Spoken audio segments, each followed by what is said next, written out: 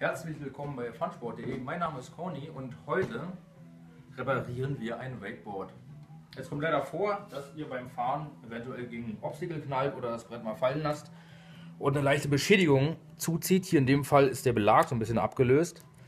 Sehr ärgerlich, aber kein Problem. Ihr müsst den Schaden auf jeden Fall schnellstmöglich reparieren, bevor die Feuchtigkeit euch den Kran kaputt macht.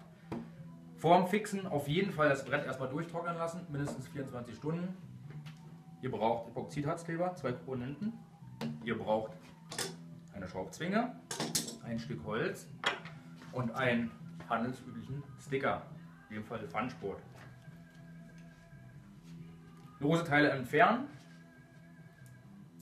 die lose Stelle ein bisschen aufspalten, dass Kleber reinlaufen kann.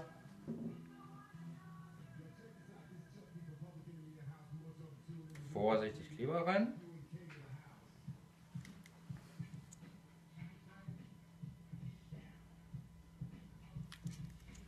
Geil, zu spät, der Kleber ist jetzt hart.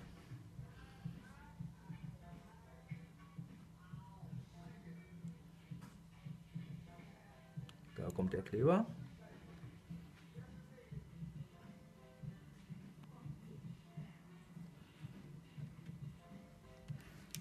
So. Sticker nehmen. Einer Ecke Harz ein bisschen weiter nach unten schieben, dass er bis unten durchläuft. Und damit das Holzstück nicht am Brett klebt oder an der Schraubzwinge, nehmt ihr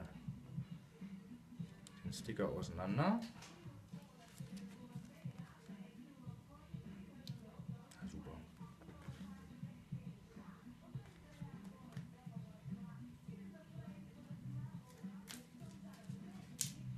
Funsport-Sticker aufs Brett, gewachste Seite auf die Stelle,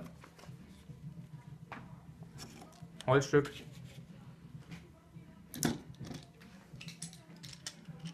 Schraubzwinge.